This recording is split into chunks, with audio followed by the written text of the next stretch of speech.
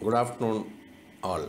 It is my privilege and pleasure on behalf of Indian Maritime University Chennai campus to welcome you today to this webinar. I am delighted to have our special guest, Dr. L. R. Chari, with us to share his experience and knowledge through this webinar.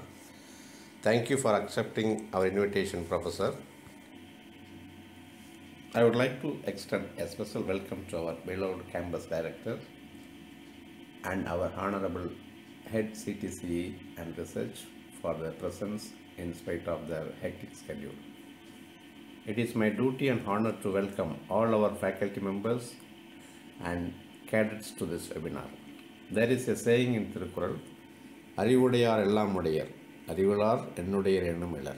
The meaning of this, the wise is rich, with every blessing blessed. The fool is poor, of everything possessed. All should sharpen our mind with useful information regularly. So we all can orient to today's lecture. Thank you. you. Uh, Dr. Chari, colleagues, dear students, a very good afternoon. From IMU Chennai campus, I welcome you all for this webinar. We have been organizing technical and other lectures regularly. The regularity was disturbed by the pandemic. It's good to see this being taken forward. The topic for today is autonomous ships. The topic has currency and brings in not only technological issues but also affective, human related issues. But innovations are inevitable. Sukant Ratnakar, the author, he says that innovation is an outcome of a habit, not a random act. This is very true for the times we live in, where gadgets and better than previous models flood our life space. The idea of autonomous ships has certainly caught the fancy of the industry. The levels of autonomy are being defined. The merits and demerits are discussed in many forums. Real crafts have also started to appear. There are skeptics who argue that these vessels and equipment will be expensive. Maintenance of sophisticated equipment, backups, payment to experts will be more than conventional shipboard staff, collision, security issues. All these make the proposition prohibitively expensive. There are the new now optimists who say that if self-driving cars are possible, why not unmanned ships? Sea lanes have much lesser traffic also, lesser risks. Ships can be redesigned with less emphasis on hotel services, more on cargo. So ships will be more efficient and safer. But as we move into the future with autonomous ships or with conventional ships, humans will be there as architects, as maintainers of advanced technologies and the machines. Frederick Skinner, the American psychologist, he says the real problem is not whether machines think, but whether men do. So we must continue to cultivate our knowledge to think better. With that note, I leave you to the expert, Dr. Chari, to carry this interesting topic forward. Thank you very much. Yes, sir. Thank you, sir. Now I would like to invite Cadet Arushi Anurag Saxena, who will introduce you to our special guest. Please. Dr. L. R. Chari is a marine electrical engineer by profession. He took his bachelor's degree in electrical engineering, master's degree in industrial electronics and control engineering, and doctorate in control engineering and automation from the VJTI University of Bombay. His doctoral thesis was on a system for nuclear reactor, power control, and adaptive autopilot and guidance systems for ships. Dr. Chari has to his credit over 30 research publications in various international as well as Indian technical and management journals and has presented papers at various conferences worldwide. He has authored a book in management science titled Corporate Transformation Without Tears. In 1979, he was the chairman of the International Ship Operation Automation Conference held in Tokyo, Japan. He is a recipient of the Achievement Award presented by the Institute of Electrical and Electronics Engineers, USA, for original work in 1974. A special award given by the Institution of Engineers India for outstanding contribution in 1975 and the H.S. Rao Memorial Award given by the Institute of Marine Engineers India in 1993, 2011 and 2013 for his work on harnessing renewable energy for generating electricity at sea. Dr. Chari retired as Executive Director of SCI Mumbai. He has been a member of the Advisory Technical Committee of Lloyd's Register of Shipping London, Chairman of the Ship's Electrical Equipment Standardization Committee of the Bureau of Indian Standards, and a member of the Project Review and Steering Group of the Department of Electronics and the Department of Science and Technology of the Government of India. Dr. Chari, I give Dr. Chari,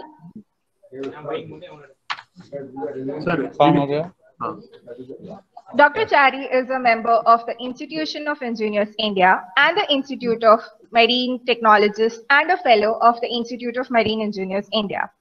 He was a member of the Tamil Nadu Maritime Board and a trustee of the Madras Port Trust. Dr. Chari has been a member of the Research and Recognition Committee of the University of Bombay and a distinguished professor and PhD guide of AMET University, Chennai. At present, Dr. Chari is an independent maritime consultant and a member of the School Board of Allied Studies and a PhD guide of the Indian Maritime University, Chennai. He is also a member of the Senate of the Manipur University, Imphal. Wow, those are wonderful achievements. I am now eager to listen what his Varun, experience has to say. Varun, Varun, just a moment.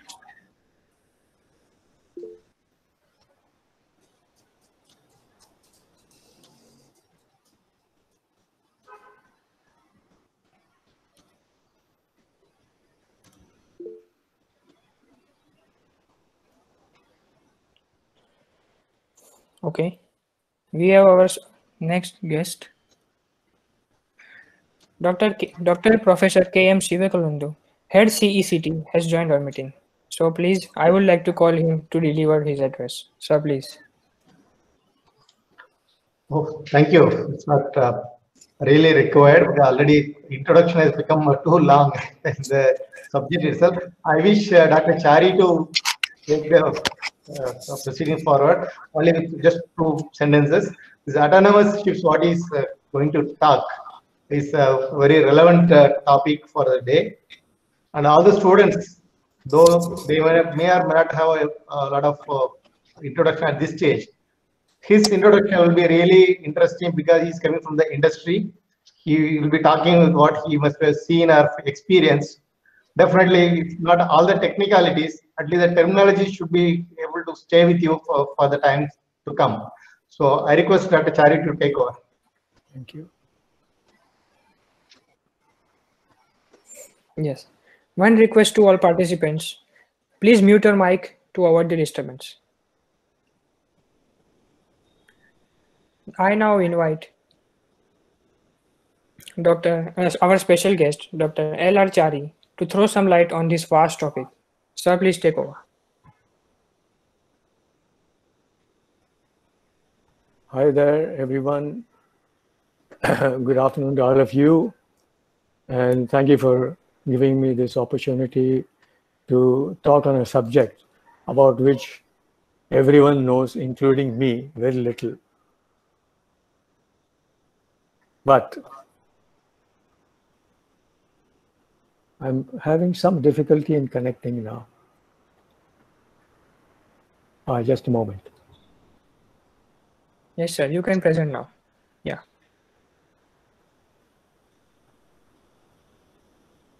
Yes, sir, we are seeing. Uh, I know, are you able to see my Yes, sir. screen? Are you able to see the screen now? Yes, sir. Just a moment. There is some glitch here. Yeah, can you see it now? Yes, sir. Okay. Now, this is a subject about which a lot have been said, not in the last one or two years, but right since 2001.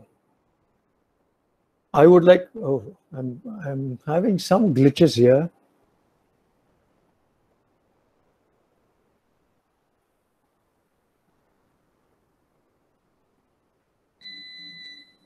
Professor, you can uh, stop presenting. Again, you present. Yeah, I'm trying to do that.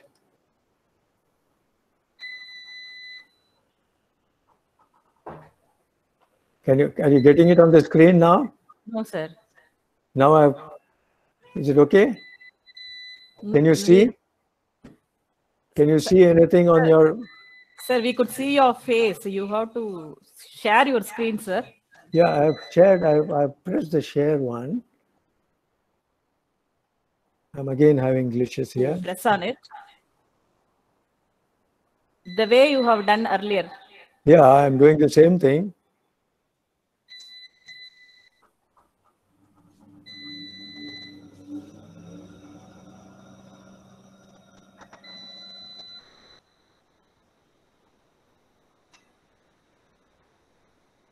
Sir, you stop presenting initially.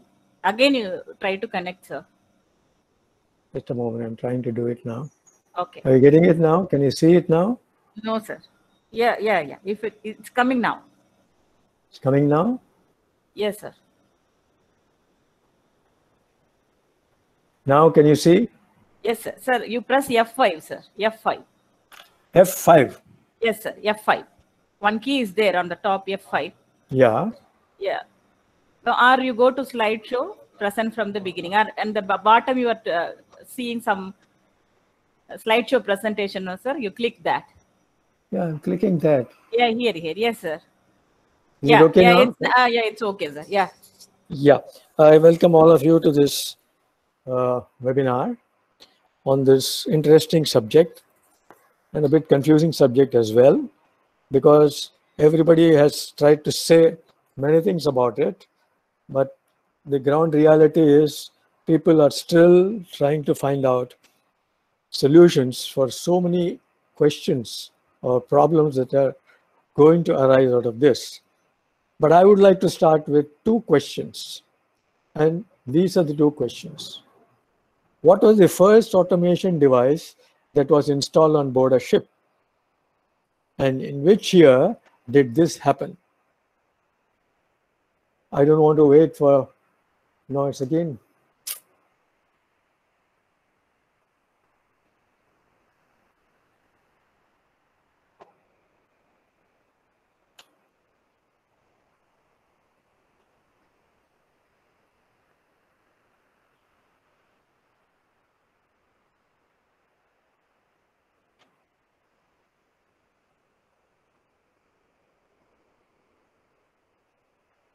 Can you see it now? Hello? Yes, sir. Yes. Yes, sir. Okay.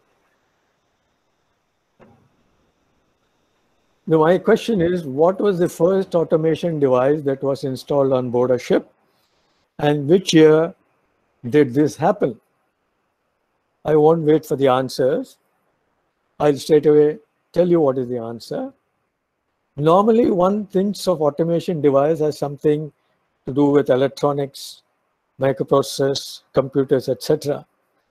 But that's not true. The first automation device that went on board a ship was about 200 years ago. Are you not surprised? You would say 200 years ago, there were ships with sails. What automation device can ships with sails have on board? No.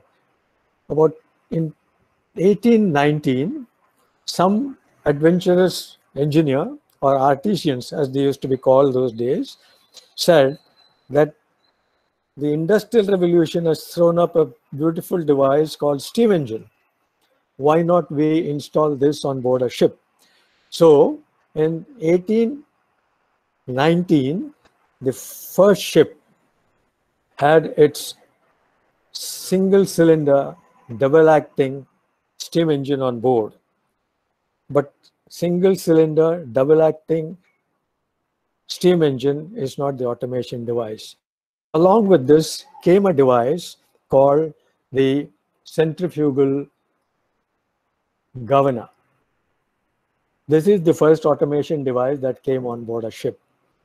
This automatically regulates the flow of steam into the engines, as all, all mechanical engineers or others will tell you, to regulate the flow of steam into the uh, into the cylinder to maintain constant speed. So this was the first automation device that went on board a ship 200 years ago. So we will quickly look go through the entire list which of automation device that went on board. In 2019, between these two years, the centrifugal governor went on board. Then there was a gap of nearly 90 years. And in 1908, the first gyro compass went on board a ship. In 1920, during the war years, they were getting prepared to install autopilots on plane. Once it was a success on plane, they somebody thought, why not we have it on board a ship as well? So the, it was it was not called autopilot that time. It was called self-steering gear. So the self-steering gear was the next automation device that went on board ships in 1920s. Thereafter, somebody thought, why not why not have an automatic uh, automation automatic boiler control system because they had problems of maintaining the drum level in the boiler. So first automatic boiler control system went on board uh, in 1925 and the same year the echo sounder also went on board. In between 1936 and 1940 the radar which was put on aircraft during the war for the for the war. At the same time somebody thought why not we have radar on board? So between 1936 and 1940 the radar came on board. Then there was a lull of nearly 25 years. Between 1965 and 1970 main engine automation main engine automation and generator automation came on board. Between 65 and 70, the condition monitoring system, that is to monitor the condition of the piston, the cylinder liner, etc., came on board between 1965 and 1965 uh, and 1970. In 1965, again, for the first time, the Lloyd's Register of Shipping classified ships as unmanned ships with unmanned machinery space, UMS class, or the DNV used to call it E0 class, engineer geo class. That means there won't be an engineer in the engine room. It will be a locked engine room and the ship will function as a E0 or UMS ship. Subsequently, in nine, between 1970 and 75, satellite navigators, Loadicator or LoadMax computer came on board in 19, between 1975 and 1980, shipboard computers and LAN came on board. Between 80 and 85, satellite communication and GPS came on board. In 1990, it was the era of PLC, Programmable Logic Controller on board. Between 95 and 2001, all the GMDSS equipment, namely the EPIRB, SART, ECDIS, AIS, etc., came on board. And there was a gap of four years the concept of internet of things you might have heard about it was was getting evolved and in 1999 the concept of the internet of things uh, and autonomous ships were introduced on a theoretical level. Between 2019 and 2020 the first autonomous cargo ship Yara Birkeland was launched but it has still not taken off. So you might ask, why did I run through the entire list? This is mainly because all, each and every one of these equipment, excepting the centrifugal governor, form a part of the autonomous ship.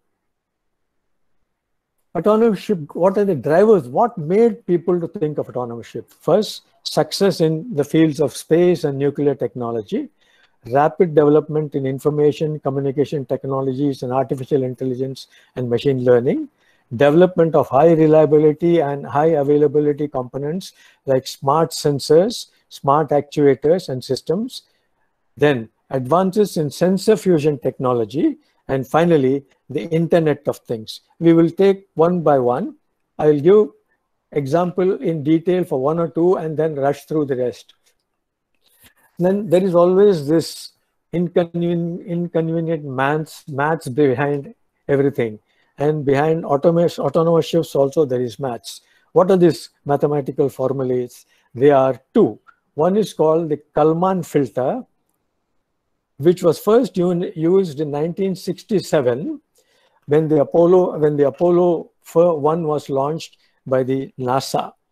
This was used to detect objects in the space, identify them, and clearly define them. So this is the one which is now being used in self-driven cars and also aircrafts, and it is now coming on board ships.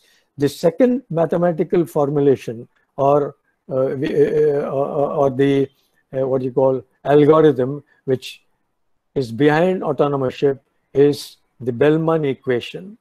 This Bellman equation is a decision-making equation. It comes under the subject of Markov decision process. And this is the formulation or this is the algorithm about which I won't talk now because all of you will fall asleep. So we will proceed ahead without this for the moment. We'll talk of smart sensors. Now, this is a bookish definition of smart sensors, but you, uh, you, you can find it in any book or, uh, or even on the internet. It says that it has got a lot of brains built in it. So I will quickly go, in, go into the architecture of a smart sensor. The smart sensor, as you see here, is capable of measuring temperature, which you see on your left-hand side bottom, temperature, pressure, acceleration, position, magnetic field, and also radiation for nuclear ships. This is called the uh, uh, sensor interface. You see, what it does is what an individual will do on board a ship. For example, if you take a generator on a ship, it has got uh, uh, temperature sensors called PT100 in its windings. If the temperature goes very high, the alarm is given. So this temperature sensor normally gives the alarm and the engineer immediately goes and sees what is wrong. If the, temper if the temperature sensor has failed, what it does is it stops the generator, changes the uh, sensor, and then go uh, and starts the uh, start the generator again. But there is nobody on board a ship. What do we do? So we have this smart sensor because there is no smart uh, electrical officer on board now. What happens if a sensor fails? Then there is a standby sensor called hot standby that switches on. And there is a third sensor, which is a cold standby, which becomes hot standby.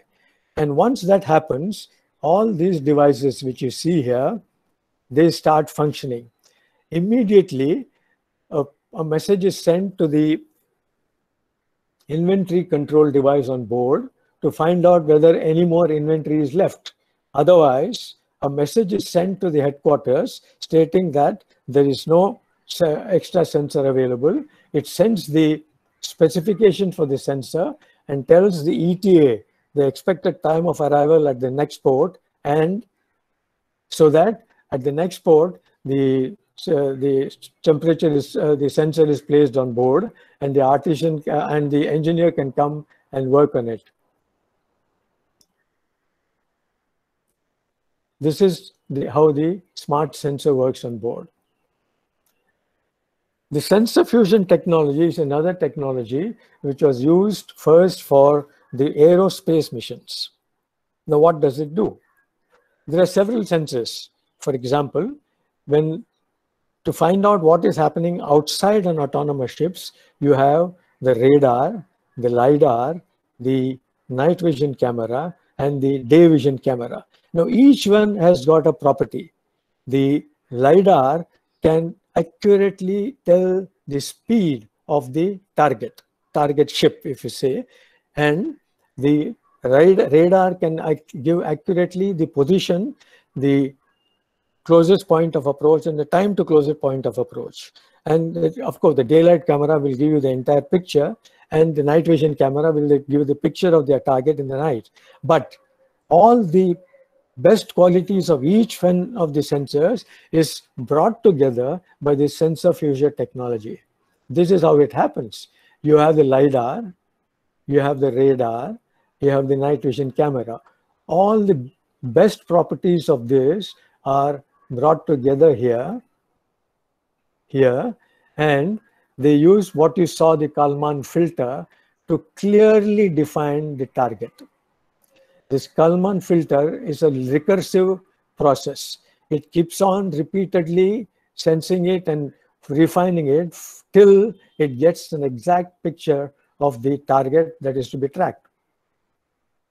Now I'm giving you, since I do not have, or all the developers of autonomous ships are playing very close to their ch chest and not saying a word about how the targets are detected. I've taken this example. They have also taken this example for the from the aerospace. Now here you have an aircraft which is facing five aircrafts here. And it is in the dead of the night, it cannot see. It uses the sensors which I showed you, radar, radar, etc. And it gives a rough picture here. This is the rough picture. And the sensor fusion technology using Kalman filter refines it in such a way that the pilot on board this aircraft gets a very clear picture. The same technology is being used on board cars, self-driven cars, and now on board autonomous ships. Smart actuator is something similar to a smart sensor. It is an integrated actuator of all components such as motors, controllers, sensors, communication unit, and it acts smartly. If one actuator fails, it switches automatically to the next actuator and then sends a message, checks the inventory. If there is a spare uh, actuator, if it is not there, a message is again sent to the headquarters so that at the next port of call, a spare actuator is connected to the ship. Now, this is how it is. Okay, this is the device. This is called technical electronic data sheet. This is called the health electronic data sheet. This maintains the health of the sensors. This maintains the technical specification. Once the sensor fails, all these technical details about the sensor or the actuator is sent to the headquarters to the TCP IC IP network. Now we come to Internet of Things. You might be already aware of it. IoT is a network of physical devices, appliances, and other items embedded with electronics, software, sensors, actuators, network connectivity that enables these objects to connect and exchange data without requiring human to human or human to computer intervention. Each object is used uniquely identifiable through its embedded computing system but is able to inter interoperate. That means communicate with each other. Now, this is the block diagram. This is the diagram of Internet of Things. Any device, anytime, anybody, any place, any path, and any services are all interconnected. Now, this interconnect of things, uh, Internet of Things came on board for the first time somewhere around 2005. Now, on board a ship, we have a number of systems you have the navigation systems, you have the uh, maneuvering system, you have the machinery management system, you have the propulsion control system, the power management system in the engine room, the alarm management system, the cargo management system, ballast management, each one is computer controlled. And when they are all integrated together to talk to each other, you get what is called the Internet of Things on board ships. You have mentioned all these systems which you saw there are all interconnected and each of the above system is in a is a network of other subsystems within themselves. Now this is the block diagram of how the entire thing is displayed. No autonomous ship uh, developer is coming out with this sort of a diagram but then it is not uh, space technology or rocket technology for anyone with a little bit of a common sense can put it together. These are all the bridge equipment, bridge control on, on, on, the on the bridge of the ship. All these controls are on the bridge of the ship. All these controls are in the engine control room. They are all interconnected through Ethernet switch and router. Here also Ethernet switch router to a central processor. And then that is connected to the backbone uh, internet switch and that is connected to satellite communication or VSAT so that if it is remote control, somebody can directly operate any one of them and control any one of them. Now, what about what is happening outside the ship? That is missing in this. We will now have a look at it. That is called situational awareness system. It tells what is happening outside. Obviously, to avoid collision, you should know what is happening outside the ship. So you have these proximity sensors consisting of high definition visible camera, infrared camera for the night vision, LiDAR and radar. All of them through uh, the fusion technology, uh, sensor fusion technology, which is situated in this box along with the Kalman filter. And what is happening outside is conveyed to the Internet of Things here. So this gets plugged in here. You, before this, you didn't find it here. Now you find it here. So this makes the ship a completely autonomous ships. These are all the block diagrams of various systems. Now this ship, if you want, it can be controlled from remote. Anything can be accessed by the remote controller. He can navigate, he can operate the thrusters, he can do the ballast management, he can do the cargo management, he can propulsion control, etc., etc. The whole thing is under control. And that will happen if it is under remote control. But then the other alternative is self-control. There is nobody on board a ship. You have what is called AI captain, artificial intelligence captain or captain AI. It controls everything by itself. So these are the two types, remote control and fully self-controlled ships. Now, this is the general picture of the types of ships you will find when autonomous ships starts coming on board. You'll have the man ship with all the rules and regulations applied for man ship. The man on board controls. He gets the inputs from various. This is the deck officer on, on watch. He gets all his inputs from radar, ECDIS, etc., etc., and controls. Okay, that is normal one. The remote control one, this person sits somewhere ashore. It is an autonomous ship. He also gets all his inputs through the satellite from the radar, ECDIS, etc. on a ship. Through the satellite, he gets input and he controls the ship through the satellite. And this is fully automated ship, self-automated. That is, the computer gets everything and it is something to similar to your totally autonomous ship. And this is the autonomous ship with both the possibilities. Remote control from by a man who is sitting by the commander who is sitting in a remote place or by this self-control. And this is how this looks. Now what is the advantage? You see here the accommodation is missing. There is no accommodation. So you get one more additional hold cargo hold you see this container ship here it doesn't have an accommodation and it is full of so the cargo capacity increases by leaps and bounds by nearly 20%. Now we'll see, take a look at the pros and cons of autonomous shipping. Let us look at the pros. Short port stay, because these days ships don't stay in port for 10 to 12 hours and, and tankers, uh, uh, Uh, uh, uh, tankers even less. Faster turnaround because of short port stay no crew cost, hence lower operating cost because there is no crew on board, lower freight rate because lower operating cost, no accidents due to human error or failure. This is a subject, a debatable subject. There is one institution in uh, Germany, according to which 95% or sorry, 80% of the accidents takes place due to human failure. So if there is no human on board, by logic, they say there won't be accidents. Okay.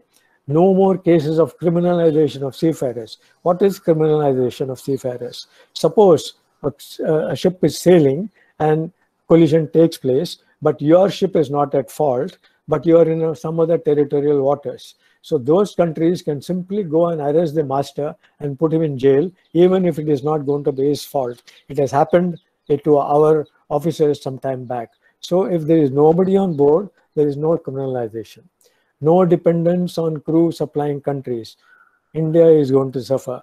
The countries which will suffer are India, Bangladesh, Philippines, Ukraine, uh, and these are the major crew supplying countries. The other advantage, this is an advantage to the ship owner. The ship owner has full control of the ship. Nobody else is controlling.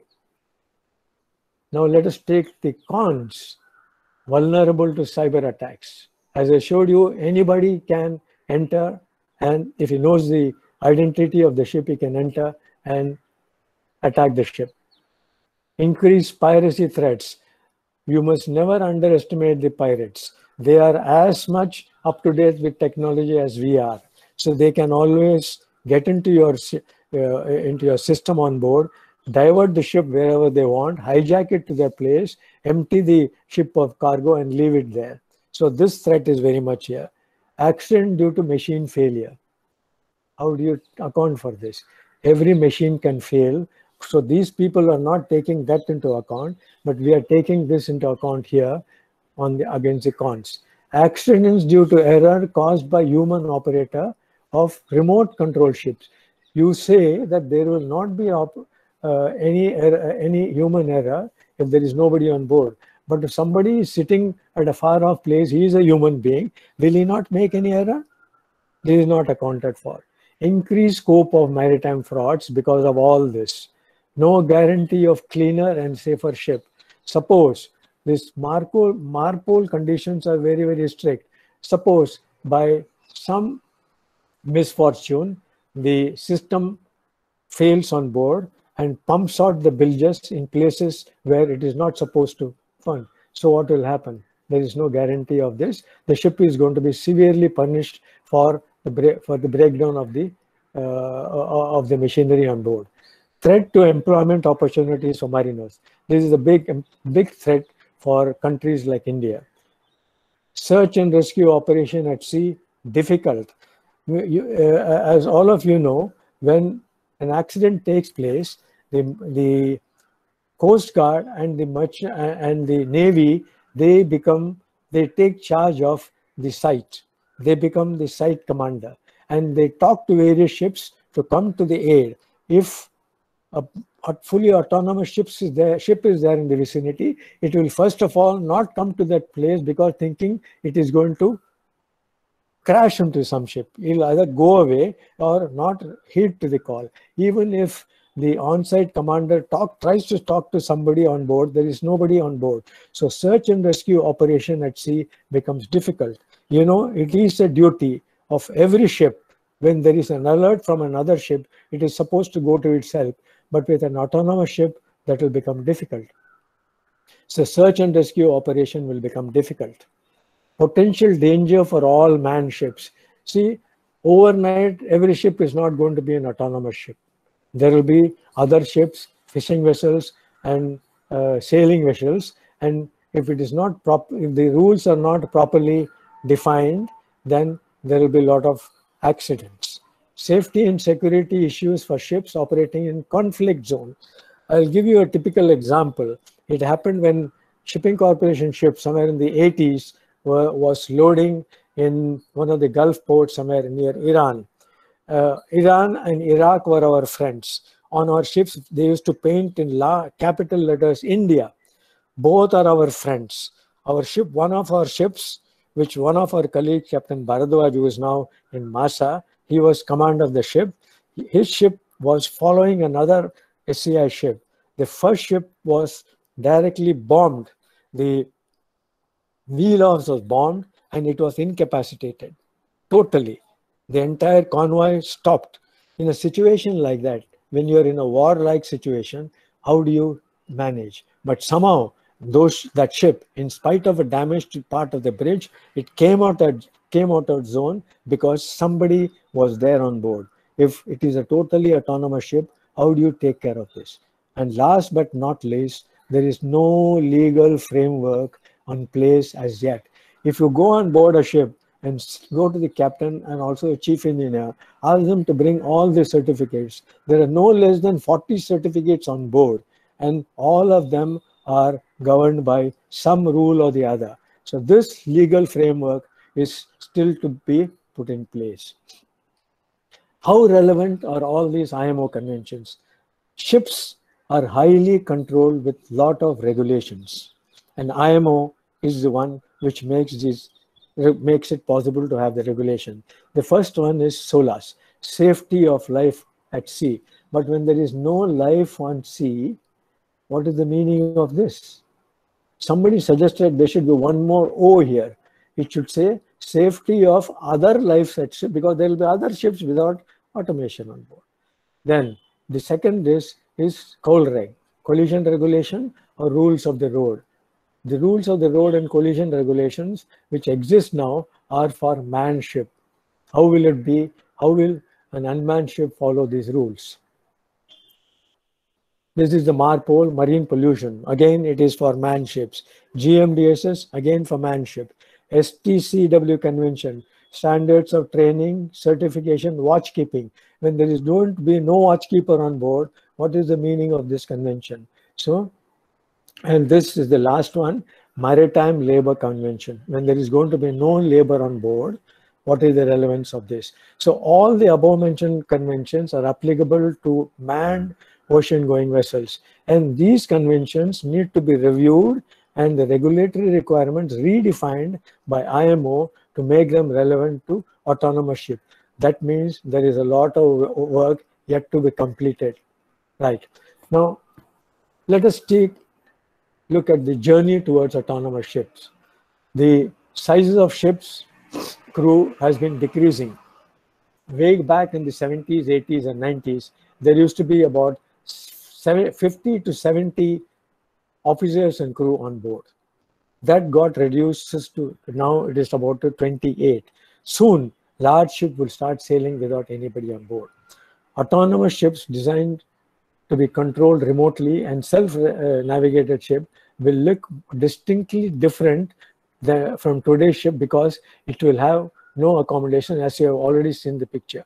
Soon advanced automation will help battery operated ferries now being built in Norway to using electrical energy in most of the most efficient manner. That will save pollution but will it save accidents is still not known. Now when autonomous ships become the order of the day there will have to be remote control centers. When ships are able to operate completely on their own there will have to be somebody ashore who can take charge if and when conditions demand. Different types of ships or different ships at various stages of their voyages will in all likelihood require very different levels of oversight and control or supervision. For instance, a cargo ship far out in the sea will normally need little human uh, supervision with a single shore-based controller or commander overseeing the operations of many ships. But when a vessel is operating in a congested lane, say for example in the shipping lanes like uh, uh, like the Suez Canal, then you, a close monitoring of the ship will be necessary. So this will require much more close, careful, and full attention of an individual controller and commander sitting at a remote center. How will this remote, remote control look? center look. This is how a remote center will look like. You see, these the people, they are trained technologists. At probably at that point in time, there won't be a division between, probably there won't be any division between deck and engine officers. You will have both the people doing both the jobs because they should be trained to control the ship and also troubleshoot from a remote location. So some time back, the Danish people came with dual certification. The same person will be certified as a chief engineer and also as a master. But that thing failed miserably, that has been discontinued. But if the autonomous ships become order of the day, and it has to be controlled from a control center, then the people who are manning it will be marine technologists, who will be a combination of as um, uh, uh, nautical officer and an engineer. And therefore, the training, maritime education and training will also keep changing to meet with those requirements. the benefits of autonomous shipping. This is according to the concept developers. Obviously, they are going to be very optimist. They say it will be safer, it will be more efficient, it will be cheaper. Nobody has done the economics still voyage economics has still not been done. But they say it will be cheaper.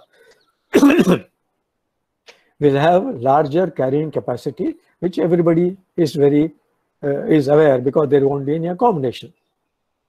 Since there will be no accommodation, it will offer less resistance to the wind and therefore there will be fuel optimization. And it will help owners and operators to respond to growing shortage of crew. this is the thing which is now dictating all the owners, European owners, to go for fully autonomous ships. Again, this is a pictorial form. Reduce environmental impact, how we don't know.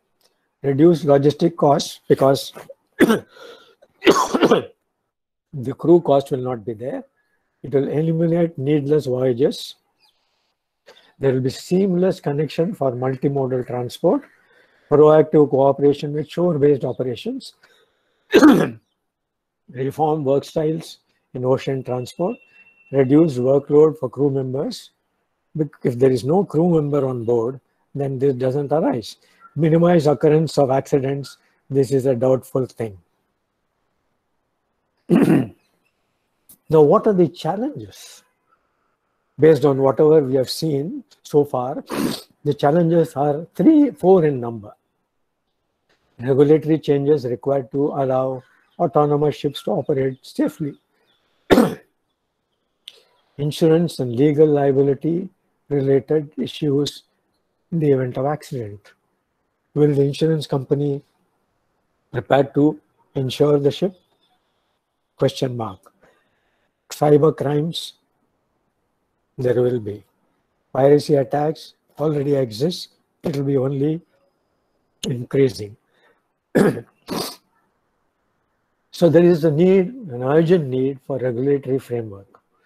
These organizations like Advanced Autonomous Waterborne Application of Finland, Safety and Regulations for European Unmanned Maritime Systems in Europe, Maritime Autonomous Systems Regulatory Working Group UK, and the International Maritime Organization are all working overtime to put a regulatory framework in place before autonomous ships become the order of the day. Now, we take a typical example. This was the first people, the Rolls Royce and the Kongsberg people were the first people to design a fully autonomous electrically driven ship. These are the particulars. This vessel will be equipped with battery, which will be the permanent ballast, and that will be driving the propulsion motors. Its cargo carrying capacities will be 120 TEUs. And then there will be an automatic loading and discharging using electric canes and equipment. So there won't be any need for shore help. the vessel will be used, will be having automatic mooring system for berthing and unberthing, which will be done without human intervention. The operational area will be within 12 nautical miles or coastal waters. Now, we'll take a look at this ship. I will have a sip of water before you can keep watching this.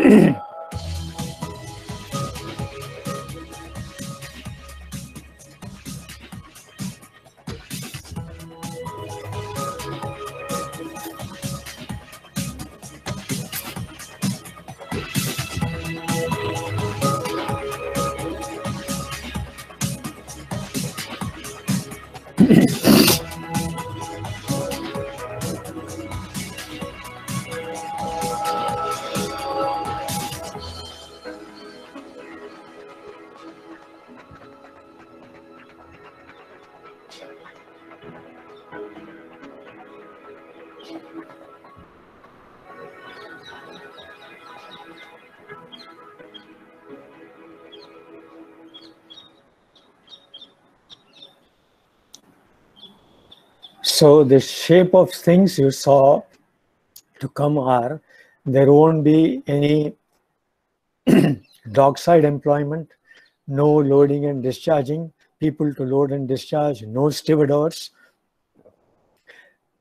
Uh, The berthing and unberthing will take place by all by itself, and the ship will also shape sail automatically by itself. Here is one more. This is autonomous berthing of the same ship it used robotics to moor the ship.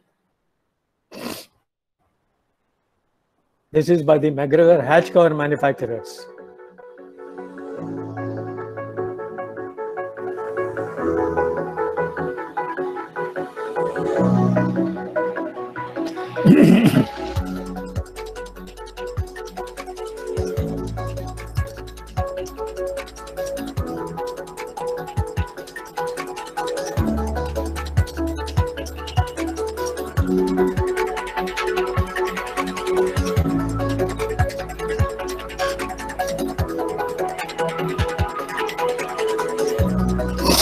mm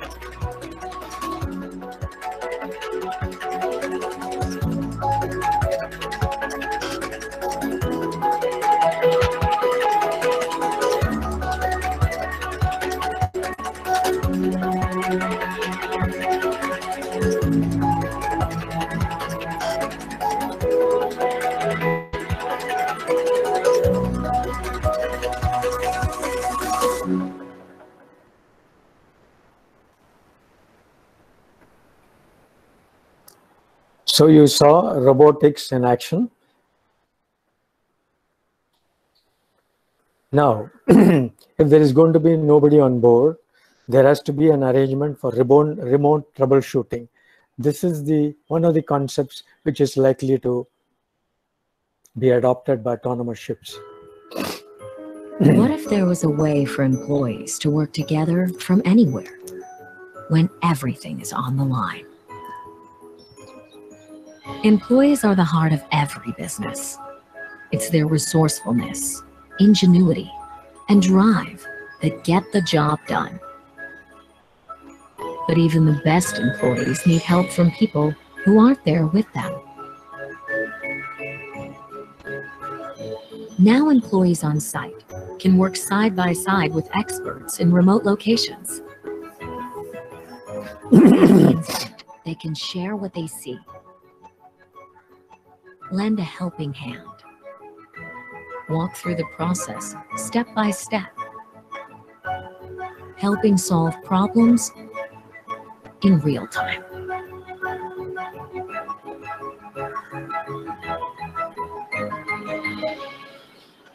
This is a new vision for work. Now employees can work smarter and bring in the people they need with just a tap.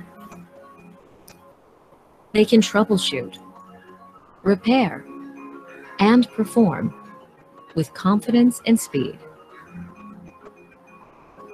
They can move freely,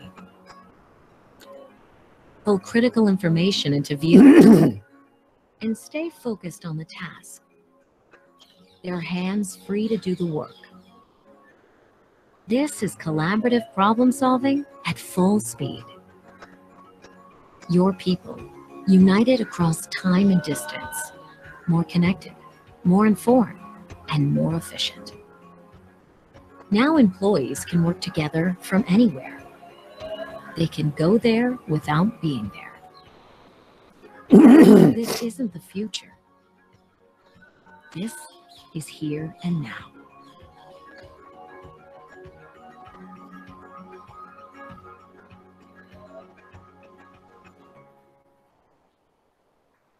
Well, this has still not come on board, but it is likely to happen if everybody, if the, if, if it becomes fully autonomous, maybe in the next 30, 40 years.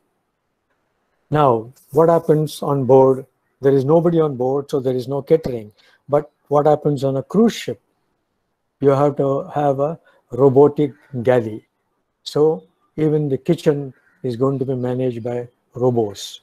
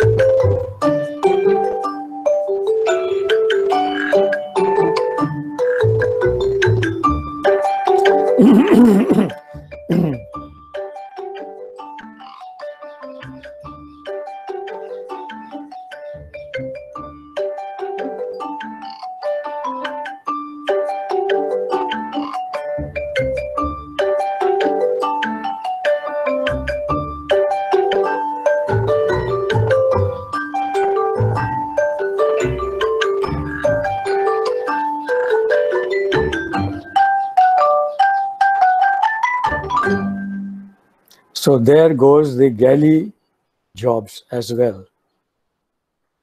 Now, on a passenger ship or a cruise ship, what will be the kind of service? There has to be a restaurant there, a cafeteria, and how will service take place? Take a look at this.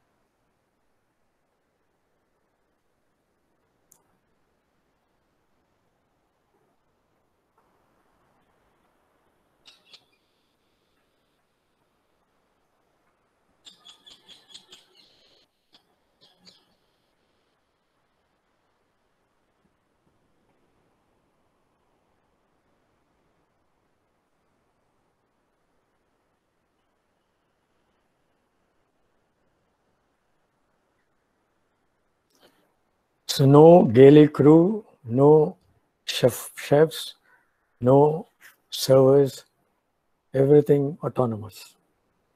Now, what you saw was the concept, but it has now become a reality.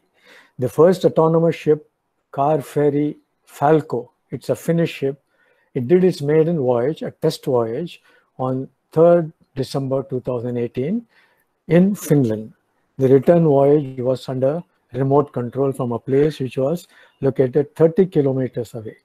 On the left, you see the control room. On the right, you see the car ferry. Ferry. This was a conventional ship which got converted into an autonomous ship, but it had, for the maiden voyage, the entire crew on board on a standby mode. This is the first cargo ship to cross the high seas. This took place on 6th of May in 2019 from Mersea Island in UK to Ostend in Belgium. This was the third maiden voyage by a third ship owned by NYK Lines of Japan. This voyage took place on 14 September 2019 from Xinsha, China to Nagoya in Japan and from Nagoya to Yokohama. Now, part of this may not be easily visible, but I will, we will try it out. It was a night voyage, so things may not be very clear. Let's see.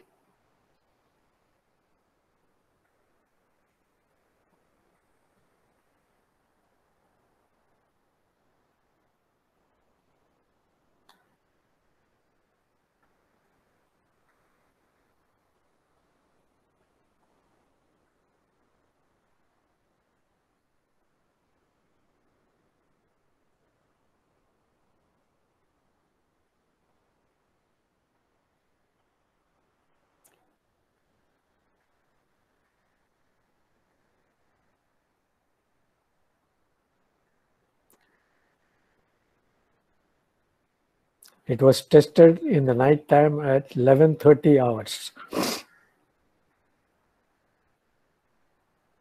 But there was specialist engineers on board who designed the uh, system called Sherpa system to monitor it. But there was there was standby navigating officers and also engineer officers, but then they were only on a standby mode. So you see the kind of computation which goes in, the two equations which I showed you, that is the Kalman filter and also the Bellman equation, that these two are the underlying algorithms to navigate a ship safely. And that is precisely what you are seeing of graphs, which gets translated into command to the navigating system.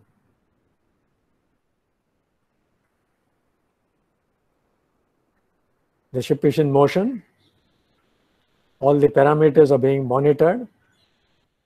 There are several ships coming on the way, but it avoids, collision is avoided.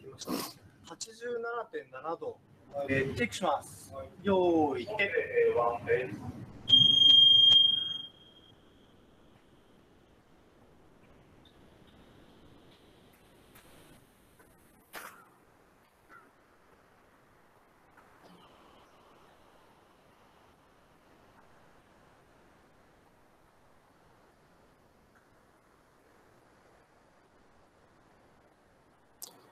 There is a planned course and there is a recommended course.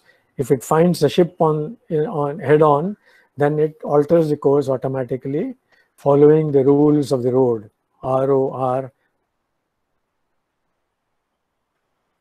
That is, you always keep to the starboard side of the ship, the right, right side of the ship to avoid collision.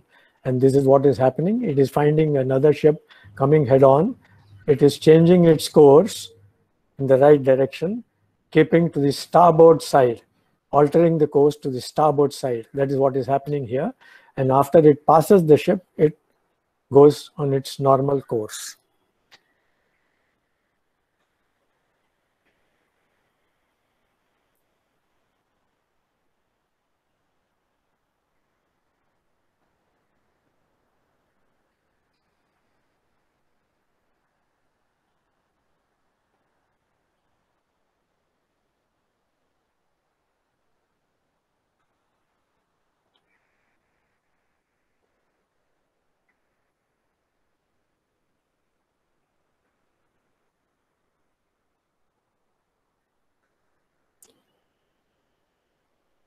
It returns to the planned course after avoiding any collision.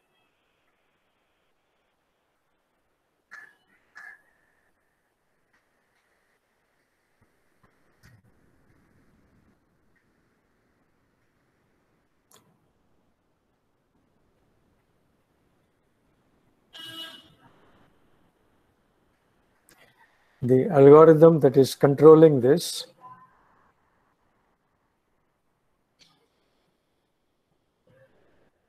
Sorry.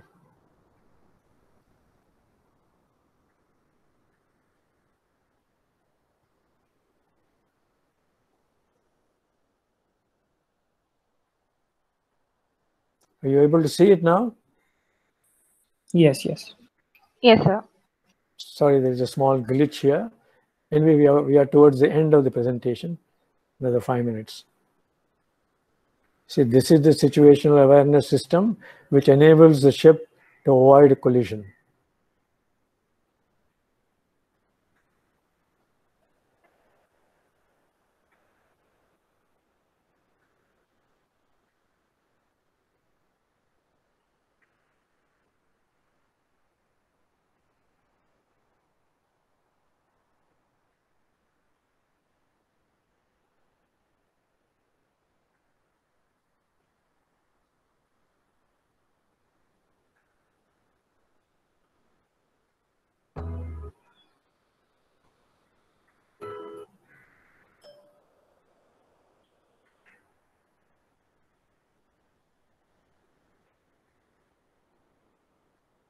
Now, this is the latest one on 16th of September from Plymouth in UK to Plymouth in Massachusetts. This ship, it is a research vessel with nobody on board, and this is going to be the first transatlantic voyage. It's going to take six months because it is going to do the seabed survey, and we will see whether it how it works. Uh, we'll take a chance. Yeah.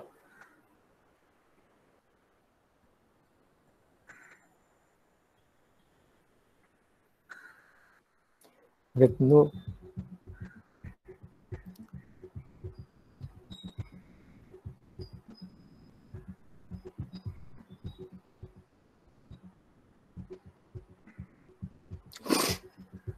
there are some existing vessels that are sort of remote controlled, but this isn't even that.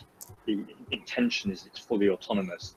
It's been trained with a whole load of different images uh, of things it might encounter at sea, from seagulls to boats to icebergs, and that will inform the decision made by the AI captain on where to steer next. And that will also factor in things like the weather to say if there's any storms it should avoid, and a rules-based system determines where the course that the captain's proposing is actually legal according to the highway code of the ocean.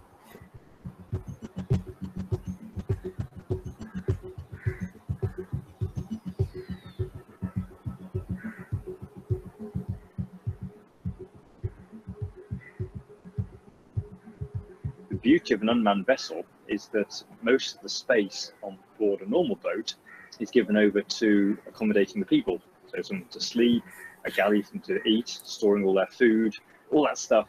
And we don't need any of that. So the entire content of the boat can be given over to scientific experiments. And there's a number of research pods down the length of the middle hull where people uh, experiments to uh, do various pieces of investigation while the boat's out at sea.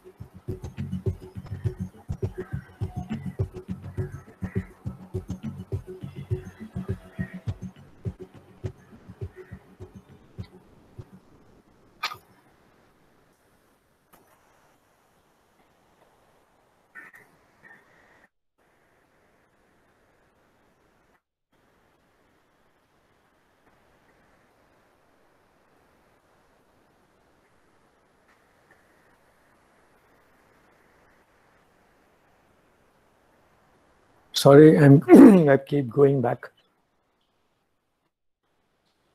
There is some glitch.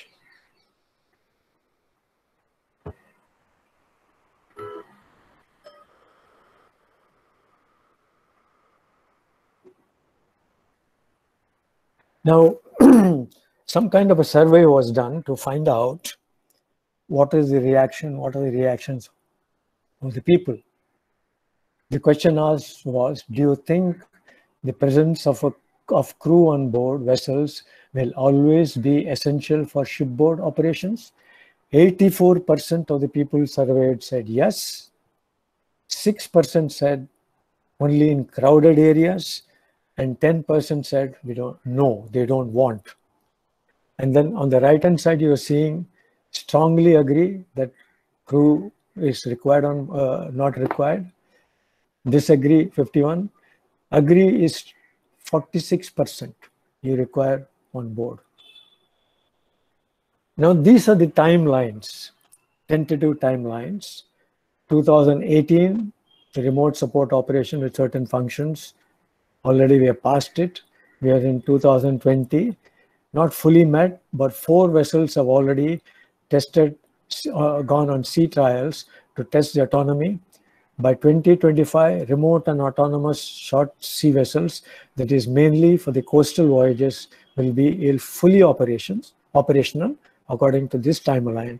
And by 20 dash, maybe 29, you will have remote and autonomous ocean going vessels all over the place. So we conclude by saying advancement of technology cannot be stopped. So autonomous ships with no crew on board are distinct possibility in the near future. But to reach that destination, a few more important milestones need to be crossed in order to make autonomous shipping absolutely safe, secure, reliable, and legal. The last point is very important. There is also a need to assure that there is no adverse socio-economic impact due to introduction of autonomous shipping. By this, we mean that there should be, it should not result into heavy unemployment because so many people, uh, so many types of jobs will be start, lost. But new types of jobs will be generated. So if the new types of jobs that get generated equate, equal the number of jobs allowed, then there is no problem. But that is not likely to happen. So we leave with these points to ponder. If man himself is imperfect, then can man-made device be perfect? Automation is a good servant, but could prove to be a bad master, including a master of a ship. Disruptive technology is fine, but destructive technology is not, because autonomous ships can be used by antisocials, make two autonomous ships collide in the mid-sea, make two gas carriers collide, and that will create disaster. So destructive technology is not fine. Everything has to be done in a regulated way, in a sensible way. Thank you. Thank you, sir. That was very good, sir. Your point on the history of autonomous ships, like we all studied governor, right? Without realizing it is a it is a primitive technology of our autonomous ship. You also said about various equipments contributing in today's uh, autonomous ship, like sensors, sensor, sensor fusion technology, about IoT, uh, remote and fuel, remote and fully controlled ship, where more cargo space is available due to no accommodation And and then you have very good presentation on pros and cons of the uh, autonomous autonomous ships. And How the change in training of the cadets will be take place, how the change in environment of the study of the cadets will take place, what are the challenges, what are the needs in regulation, etc. And lastly, the points or points on ponder was very good. So I would like to go on to the next session of this webinar.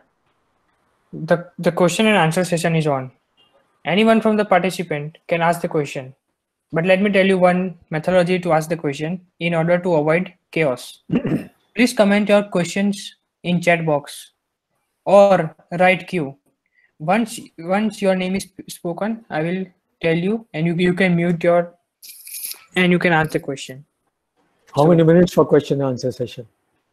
Yeah, two, three minutes, sir. Uh, okay, okay. Uh, because I have another engagement. Oh, yeah. Go ahead. Go ahead. Yes. There will be more questions and answers that I can assure you.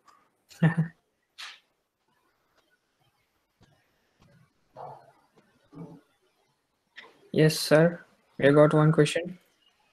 How can we pursue the autonom- auto- autonomous shipping as research or field field in higher studies? No, I didn't get you. Oh, What? oh, Come again. Come again. What is it? How can we pursue autonomous shipping in as research or field in higher studies? Failed in higher studies. No, I'm not understanding your question. What what you what are you trying to ask? Means how, ca- how, how can you pursue this, this study, uh, autonomous shipping as a study? You want to study further on it, okay? Yeah. Oh, you can. Uh, you want to design. Al- As I told you, there are two basic algorithms. One is called the Kalman filter, okay, and there is another one called the um, Bellman equation. This is the latest then and the latest state of the art algorithm. So you can do research on this algorithm and make it more efficient. That is one research project I can tell you. You can find out methods to improve the fusion technology. You see, the uh, sensor Yeah. fusion technology is another gray area where you can always improve. But when you apply it to ships, you see, when you apply it to aircraft or aerospace, the speeds are very, very high. For a ship, it sails at 15 knots. So there is a lot of time for the computer to compute the best strategy, even with the existing one. But you can certainly look, have a relook at the Bellman equation, or you can have a look at the Kalman filter and say, we can improve this and make the definition of the targets even better and faster. That is one area that comes to my mind. Always you can find out another method, another kind of sensor, which can which can do something better than the lidar or radar. It is all left le- left to your Yeah. imagination. Yes. sir, yes. Uh, one last question, sir, from our participants. Yes, Akshay Raj, you can unmute and Yes, sir. Sir, just because we can't we can do something does not mean we should do, like in case of autonomous ships. Because what if there is a failure of communication link between the remote control center and the ship? And will they be able to control in case of multiple failures? And what about the customer? Will they have faith on these ships in the starting phase when they operate?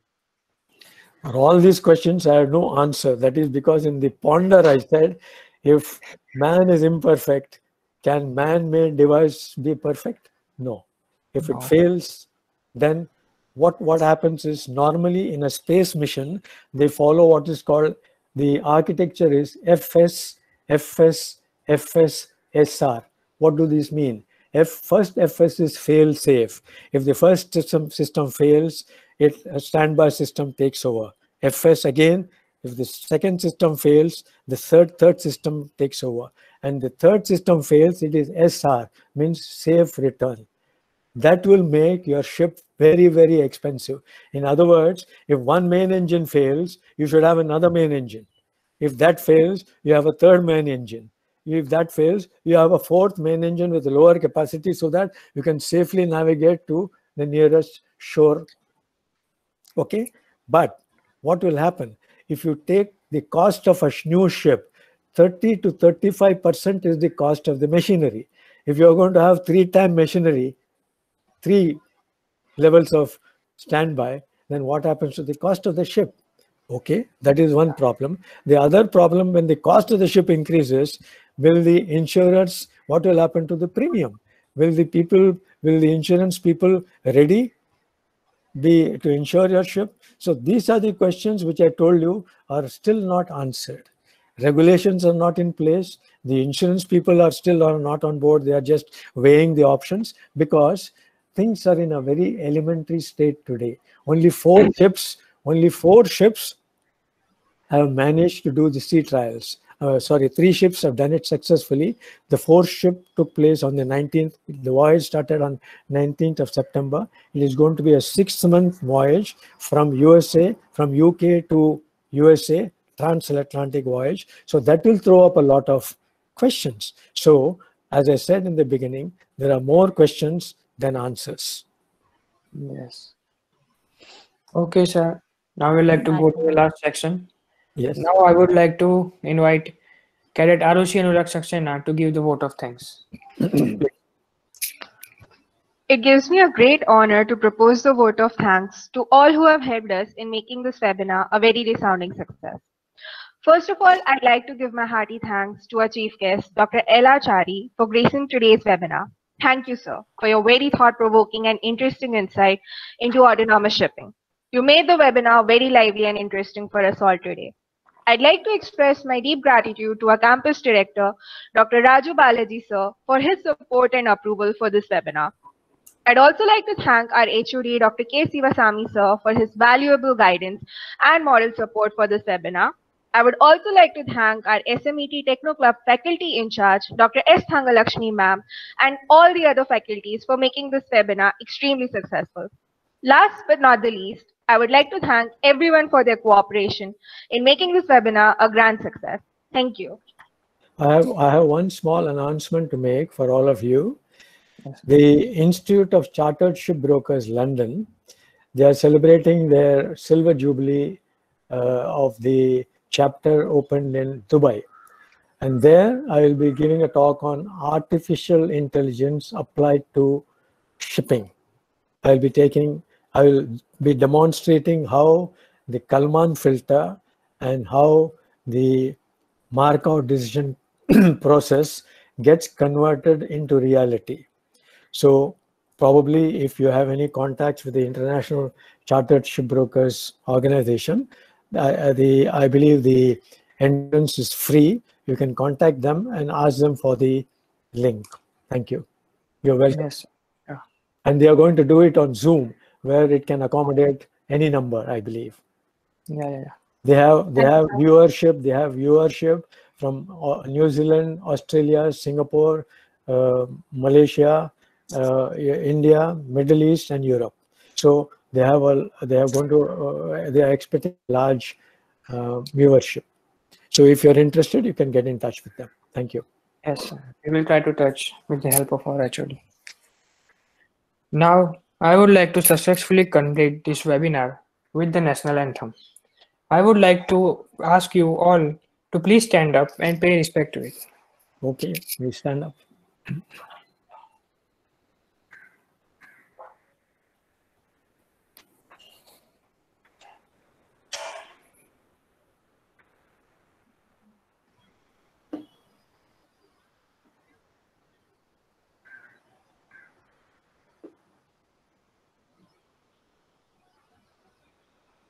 Jana Gana Mana अधिनायक जय हे भारत भाग्य विधाता। पञ्जाब सिन्ध गुजरात मराठा द्राविड उत्कल वङ्गा विन्ध्य हिमाचल यमुना गङ्गा उच्चल जलधि तरङ्गा तव शुभ नामे जागे तव शुभ आशिष मागे। गाहे तव जय गाथा। जन गण मङ्गलदायक जय हे भारत भाग्य विधाता। जय हे जय हे जय हे। जय जय जय जय हे। Thank you, Professor. Thank you. Support. Thank you. Bye bye. Bye. Thank you. Talk, talk to you later.